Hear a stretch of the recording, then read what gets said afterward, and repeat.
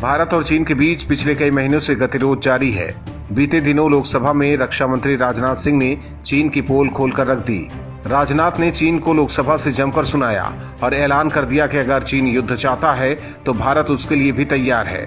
इस दौरान लोकसभा में विपक्ष और पक्ष के सभी सांसद मौजूद थे। कांग्रेस फिराक में थी कि एक बार फिर चीन के सहारे वो मोदी सरकार को घेरेगी।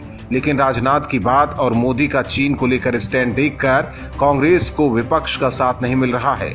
लोकसभा में कांग्रेस उस समय अकेली पड़ गई, जब राजनाथ सिंह के बयान के बाद कांग्रेस के नेता अधीर रंजन चौधरी ने उनसे कुछ स्पष्टीकरण मांगा, लेकिन स्पीकर उसके लिए तैयार नहीं हुए।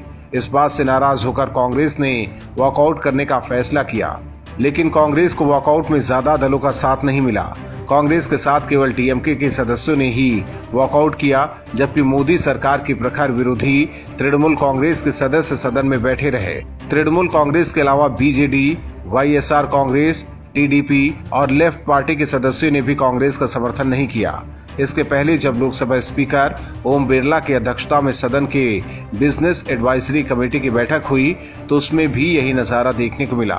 बैठक के बिल्कुल आखिर में, जब कमेटी के सदस्य अधीर रंजन चौधरी ने सरकार से चीन के मसले पर राजनाथ सिंह के बयान के सदन में चर्चा की मांग की तो कमेटी के दूसरे सदस्य और तृणमूल कांग्रेस के सांसद कल्याण बनर्जी ने उनका समर्थन नहीं किया। उल्टे बनर्जी ने अधीर रंजन चौधरी की बात का विरोध करते हुए कहा कि ये मामला बेहद संवेदनशील है। लिहाजा इस पर रक्षा मंत्री के बयान के बाद चर्चा करना ठीक नहीं होगा।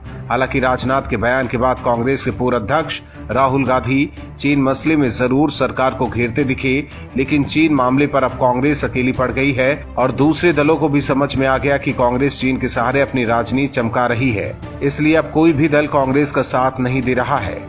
ब्यूरो रिपोर्ट ओएमएच न्यूज़ और भी वीडियोस देखने के लिए चैनल को सब्सक्राइब करें और बेल आइकन को दबाएँ।